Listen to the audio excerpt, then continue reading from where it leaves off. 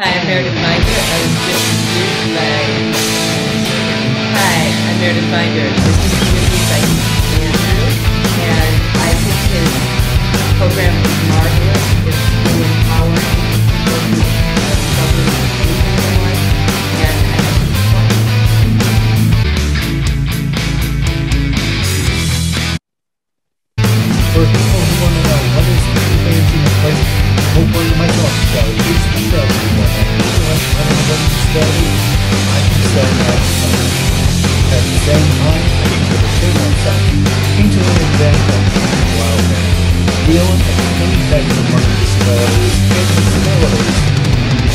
Never give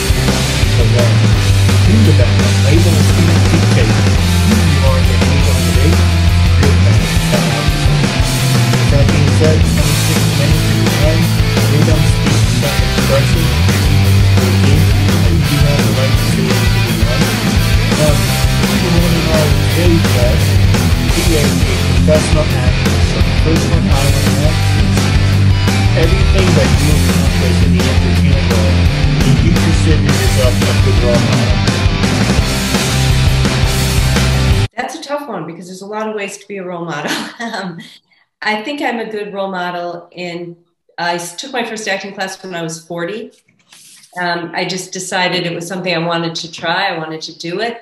Um, I didn't get a lot of encouragement from either my family or um, the instructors at the acting studio. That it was sort of like, it's great that you're trying. This is so great that you're doing something and you're not just an engineer and you and but nobody seemed to think nobody seemed to really think that I could get bigger, go farther, come to New York, get work. And I have. I just had to raise my children first. So I think I'm I think I'm a testimony to endurance. No, absolutely. Now, the next question I would, well, going back to what you said, if you put your mind to it, you can accomplish anything. That's the number one. but the question I was going to ask you is what are the three greatest strengths you bring to being a professional actor? Um, I think my breadth of experience outside of the acting world, um, you know, as they say, there's nothing more boring than actors who only act. And um, I do really well with any kind of corporate role because I was an engineering manager. I raised two children. Um, I was also a school teacher before I went into engineering, and I was a Peace Corps volunteer. So I've had a breadth of experiences that people who have just always known they wanted to be an actor and went into acting might have missed out on. Absolutely. Now, the next one I want to ask is what, ex- well, this one's actually perfect for you. You just mentioned you worked in the, um, almost said retail world, the business world, actually. What experience do you have in leading others?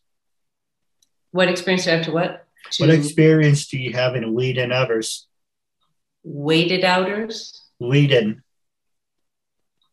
What experience do you have in leading others? Being I'm a sorry. leader. Do you want to spell that? L E A D I N G. leading others. Got it. Okay, sorry. Um, so leading others. Well, I was an engineering manager. So I had a team of, I think at the height of my career, I had 50 direct reports, and some of them had reports as well. So that was important uh, experience. Um, it's just how do you take care of these people so that they can do their best work and will be encouraged to stay with the company because it costs a lot of money to replace people and takes a lot of time. And how can you still meet the company's goals even when some of your team feels it's the wrong direction the company's going in or they're having personal issues and they're not happy in their job anymore so how do you get through it while taking care of everybody No, I agree. You know, a lot of people are not easy to work with. and hey, you can use me for an, example. You know, I worked with a lot of people who I really liked. Some ones fat. He does want to throw me underneath the mm-hmm. bus.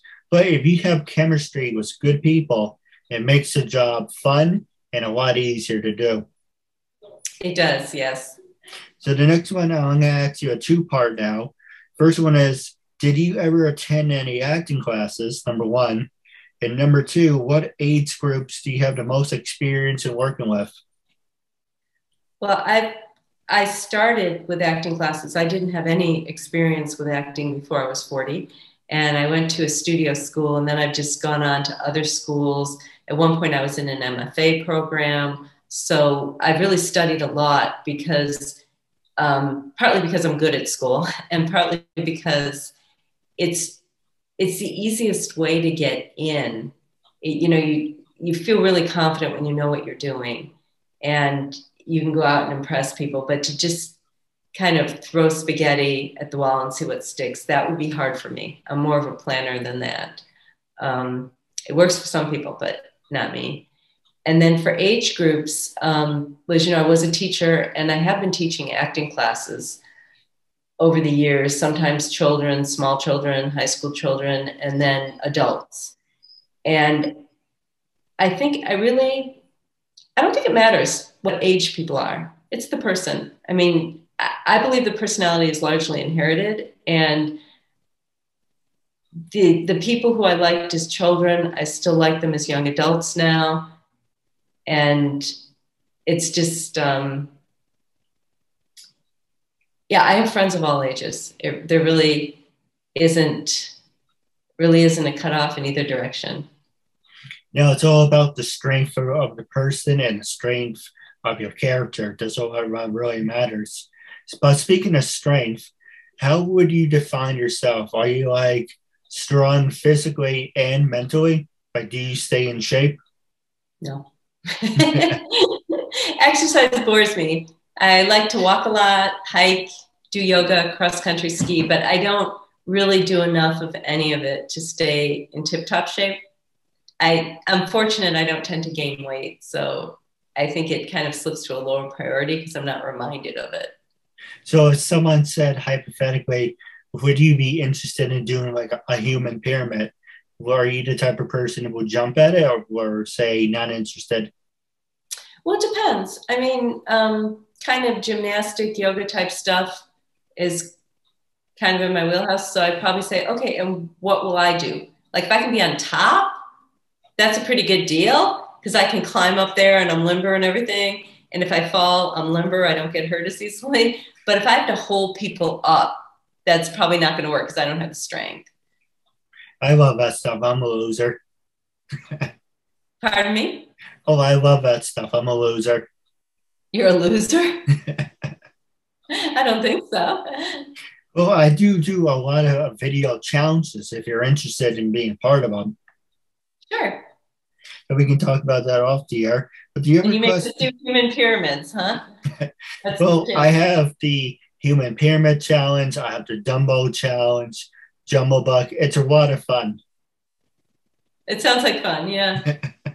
so the next question I want to ask you is, what is the most difficult part of being an actor for you? Um, I think the constant. I think it's hard for all of us, but the constant rejection. I've gotten a lot better with it over the years, but I used to feel like, well, I did a good job for these people last time. Why don't they want me back? Or, um, you know, I, I don't understand. I'm doing these great auditions, and I, I'm not getting cast over and over and over again. Why do people keep having me back if they're just not going to cast me? You know, and now I understand so much more about the industry that there's so many things at play once I was cast in a lead role in an independent film in the Northwest, and then all of a sudden they stopped communicating with me, which was wrong. They should have told me what was up, but they stopped communicating with me. And then uh, later, when the film came out, it became clear to me that one of the investors had said she would like to invest, and by the way, she was interested in this role, or maybe they felt obligated to offer her a role. And um, she's an excellent actress. You know, the film did not suffer for the decision they made. If I were in their situation, I probably would have made the same decision. You need money to make your film. I just would have um, told me, so I wasn't waiting for my shoot date. I just said, We're very sorry, we had to recast the role. Would you accept a smaller role? Or we hope you'll come audition for us in the future. But I would have tried to leave it in, a, in good standing. I agree. You know, I should have a hashtag, you know, for a dollar every time I say I agree. No, but I do uh, understand where you're coming from. There's times where I go for job interviews and they interview me like, you know, two, three times. And they're like, well, didn't we just interview you? It's like, yeah, you said this is a two part interview. And I get excited. It's like, okay, come in, do an interview. If you get a phone call, you know, that's the second part. Get a phone call. Is this the second part? No, uh, this is somebody else who wants to interview you. Fine. So you get interviewed a second time get a phone call. Is this the second part? No, we want to interview you for a third time. It's like, God damn it. it's like, how many times are you get? Oh, go ahead. I was just saying, are these different positions in the same company? Because I've had that happen before. I'm like, oh, wait, I thought I was interviewing for that job. It's a different job. No, but okay. it, it was the same exact job. I was looking for a cashier position, first assistant manager, then the manager, then the hiring manager. It's like, look, either you like uh, make me do the second position or stop wasting my time. but there are yeah. some jobs where, you know, I'm just being completely honest. You know, it's I can get a job like that. I can get a job easily. That's not the problem. You know, my family likes to tell remind me how many times I got fired or how many jobs I had. I only got I only got fired one time. And, and how many times I quit a job, it's over 13 because the jobs don't work out. When someone tells me, if someone tells you, here's the script, this is what you're going to do. And say, like, okay, you know, you pretty much, you, you shut up and you, you do what you're supposed to do. For me, I'm like, okay, but I think it should be done differently. I think it should be done this way because I look at things differently and I break them down and I make it easier to myself. Okay, I can do it if it's done in a different way. And people are like, well, it can't be like that. But, you know, it's, hey, monkey see, monkey do. this is about you, not me. But it, I like I'm like a professional wrestler. I'm like the wrestler CM Punk.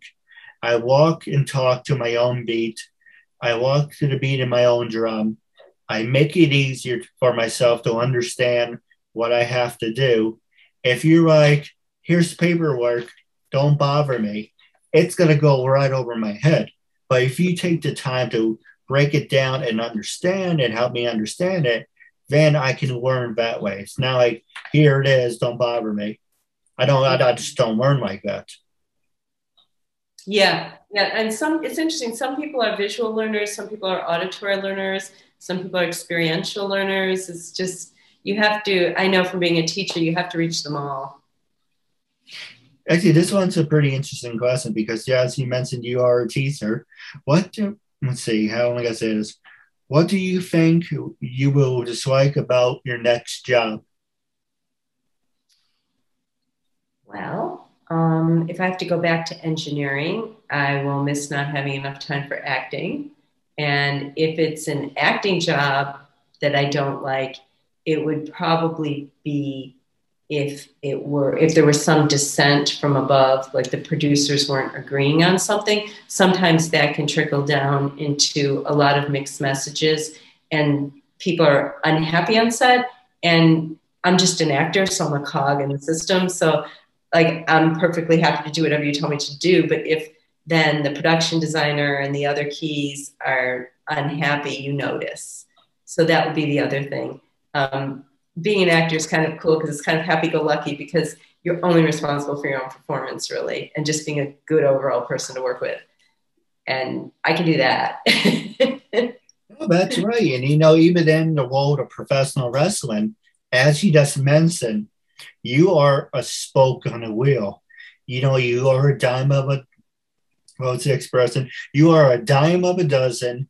We can get any hire anyone and anyone. So it doesn't matter what expression you use. Dime a dozen, spoke on a wheel. The point is you're easily replaceable. Now, that's a two-sided thing because yes, you are easily replaced, but will that person you replace you with, say you replace me with you, and that you're a great actor, but can you do what I do? Right? What makes you different?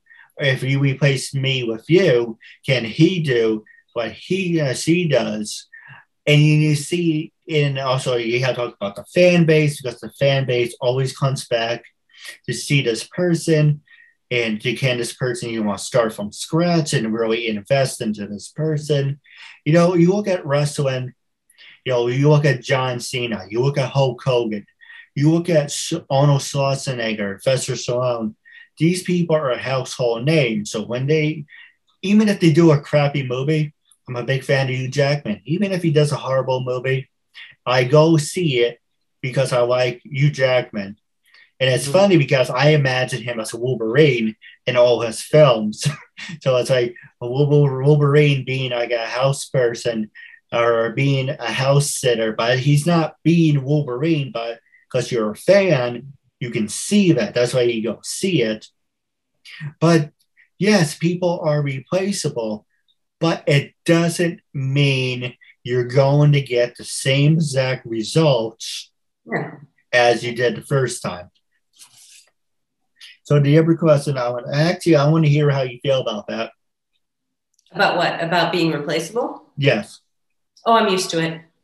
I, I was in a position in one of the engineering companies I worked with, and you know, I was the head of this whole department and everything, and I decided I wanted to leave and move to another industry because it was a time in my career where if I didn't leave, I wouldn't have the chance. And it was the company had gone under acquisition, and it was things weren't going to settle down for realistically at least 18 months, and we weren't accomplishing anything. So I thought, well, if I'm going to go, the market's hot right now, I should go. And so I left, and everyone's like, "What are we going to do without you?" They offered me more money. They uh, they made me stay till like the two weeks, even though we weren't doing anything. Um, they really didn't want to lose me, and they they hired somebody who took over part of my job, and then two other people who were already there took over some other parts of the job, and it was seamless. You know, there wasn't one person who could do everything right away coming in the gate but um, they they spread out the responsibility. It went smoothly, and um, then one of um, one of my employees eventually took over as he grew, took over everything I used to do, and now he has what would have been our boss's job because he stayed with the company the whole time, and um, you know I'm he's highly regarded and all the rest of it. So he sort of took up my destiny. So the last two questions I want to ask you on the script part anyway is as an acting, see, as an actor, what values do you have? And what is the most rewarding part of being an actor? Um, for me, acting is about telling stories, not really performing. I perform to tell the story. So I feel ethically bound to tell the story as best I can. And there was a time I was working on, you know, the 48, 48 hour National Film Challenge. Heard yeah, so I, I, was working on uh, someone else's. I wasn't producing my own that year. I was on a team and I was an actor. And the director came to me and she said, This is too long. Can you cut some of it? And I looked at it and then I started cutting some parts out. And I was cutting scenes I was in. And she told me later, you know, long after the project, she said, that's when I really had a lot of respect for you, that you were willing to take out your own scenes to help us get under time. And I said, Well, I was taking out what we didn't need. And we could still tell the story because we have to get this shot and in the canon in the festival, or where th- there was no point to this weekend. And we've used a lot of resources for this weekend people, time, favors, relatives, you name it, money. Um, so I, I think that's what I feel duty bound is is really to tell the story as best I can. Absolutely. You know, it's all about telling a story, doing a talk show, being a pro. I'm a big wrestling fan, obviously. You know, being a talk show host, being a wrestling fan, being a writer. If you are a great storyteller, then you can tell any story out there. But the next one I want to ask you is, you know, I want you to be brutally honest. When I first messaged you to be a guest on my talk show, what was your first honest opinion reading it? What made you say yes? How do you feel now, and would you recommend it to other people? Well, I'm particularly interested in um, in people who have overcome challenges to be their best self, partly because of some of my relatives and what they've had to go through, just having some learning differences and so on, and um, partly because I was a CASA volunteer, a court appointed special advocate for kids in foster care. And um, those kids, they, some of them are born addicted to drugs. Some of them are, they just haven't gotten the attention they needed, or, or they've moved schools so many times, they, they're still not reading at age eight or nine, or uh, it's, it's scary some of the things these kids have been through. And so anything word we can get out to say, you're worth it, you're worth the time, you're worth the energy, invest in yourself. You you're worthy of every opportunity that comes your way. And you can do this. And if you need help ask. If you need something needs to be done get that done so you can proceed. And it's interesting because for actors they say you know so if you have crooked teeth get them fixed and it's just kind of okay so then you might say well i'm an actor i don't have the money to get it fixed. Well get a job where you can earn the money so you can get your teeth fixed you know? It's um, well then you need a new headshot then you need uh, just get it done. You know no one wants to hear everything you have to go through to get this done. They just want it done. And um, i think you're a testimony to that and i find that inspiring and i'm happy to be a part of anything that will help people i appreciate that now the last question i want to ask you is how can our fans and listeners follow you on social media are you on facebook instagram linkedin Oh, yes, and YouTube.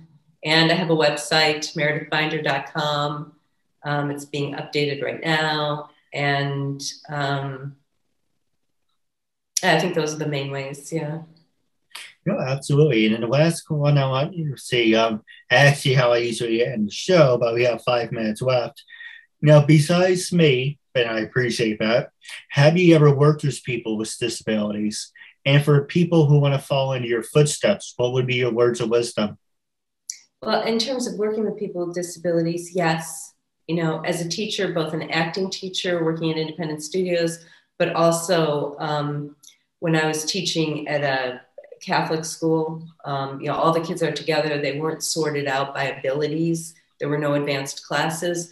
Uh, if and this was a poor area. Some of the kids needed glasses and so on. They couldn't see well enough. I was doing a seating chart based on their eyes while talking to their parents about getting them glasses and so on. So, um, you know, very much understand people working at different levels and still needing to reach the same goal. No, absolutely. The other question was advice. Yeah. Um, I think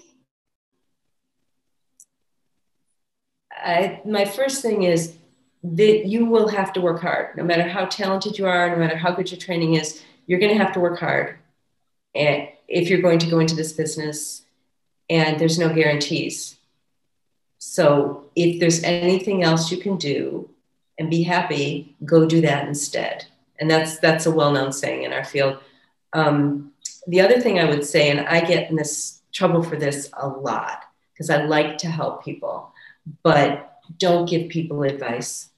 Because in our field, people pay other people lots of money to get advice. And if you just give advice, no matter how heartfelt or how right you are, you're putting yourself out there to be criticized for the advice that you give. And don't put yourself in that situation. It's even though you want to help people and you think you know the answer, and what harm does it do to at least listen to the advice and think about it? Um, just don't do that. I've had that backfire on me so many times. That's true. I know people where they would ask for advice and then they listen and it doesn't go their way, then they blame you. And then it's like, you know, you ask, you answer, you know, takes it's not the end of the world.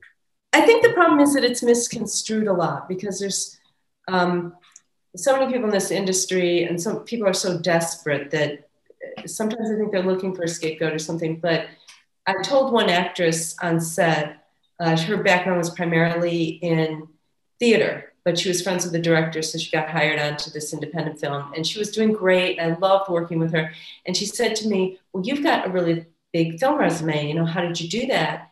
And how did you learn how to do film work?" And I said, "Well, I took classes." And she said, "Oh, um, well, how did you meet like your agent, your casting directors?" And I said, "Well, you might want to take classes from them because then you meet them."